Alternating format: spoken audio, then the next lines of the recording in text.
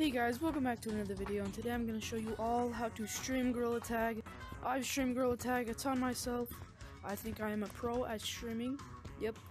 Um, but I'm going to show you guys how to stream on Twitch or YouTube. Either one works, it's fine.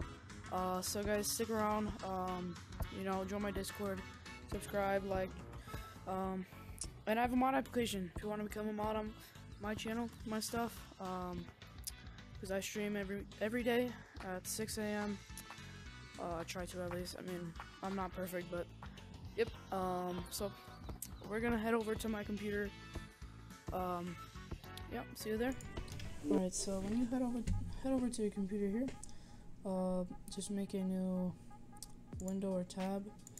Uh, put in Oculus.com forward slash casting. Uh, this is how I stream. You could also do it through SideQuest, uh, but that's a different video. Then you're gonna click this button, select computer, and hit next. Then it should soon pop up. Boom. Uh, it, here is headset microphone, and this is game.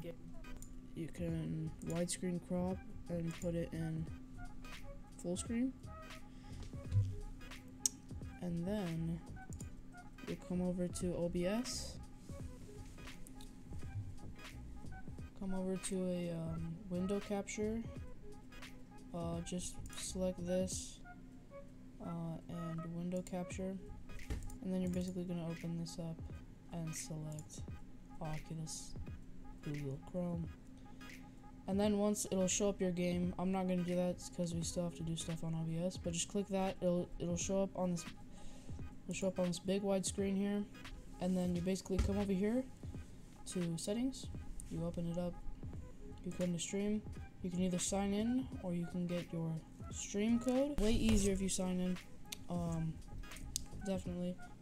But here is your stream key. I'm not going to show it because that's my stream key. Just press cop come over to obs select settings. Go to stream and stream key should pop up right here. And just copy and paste that right in but the sad thing about using StreamKey is that you will have to do, you'll have to edit on here and start streaming on YouTube. But if you sign in, you can just come over here, manage broadcast. This is mine. See and then you press create broadcast and start streaming. And then it should start streaming to YouTube. Uh, you can also sign in Twitch uh, just when you download OBS, you have to select Twitch RTMs, or you could download this multiple outputs. Um, so basically, I can run two streams at a time. So if I want here, I could start on Twitch and start streaming also. Uh, but that is, I'll link that video where I got this in the description, so you can go figure that out on yourself if you want to stream to two platforms at the same time. Uh, so, guys, that's the end of the today's video. I hope you, you know, gain some, gain some subs, gain some followers. Uh, yeah, I'll see you guys in this one. Bye.